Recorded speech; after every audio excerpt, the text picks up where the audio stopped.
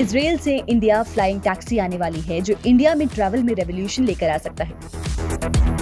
Israel में flying taxi के सारे टेस्ट सक्सेसफुल रहे हैं। इसे डेजर्ट से लेकर घाटियों के बीच उड़ाकर टेस्ट किया गया। प्रोजेक्ट पर अब तक 16 लाख डॉलर्स खर्च हुए हैं। फ्लाइंग टैक्सी पैसेंजर्स को लेकर एक जगह से दूसरी जगह पहुंचाएगी ये टैक्सी एक बार उड़ान भरने के बाद दो पैसेंजर्स के साथ 160 किलोमीटर की दूरी तय कर सकती है। इसके साथ ही 220 किलोग्राम का सामान भी ले जा सकती है। फ्लाइंग टैक्सी किसी भी बोट या शिप से भी आसानी से ऑपरेट की जा सकेगी। इसकी एक और खास बात यह है कि फ्लाइंग टैक्सीज रात के वक्त भी आसानी से टेक ऑफ़ और लैंडिंग कर सकेंगी।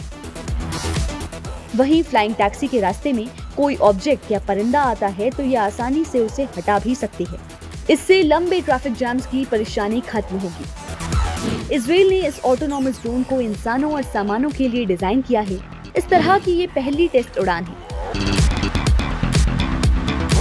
वहीं उबर भी फ्लाइंग टैक्सी की सर्विसेज़ शुरू करने की तैयारी में है। और इसे इंडिया के मुंबई दिल्ली और बेंगलुरु में शुरू किया जा सकता है।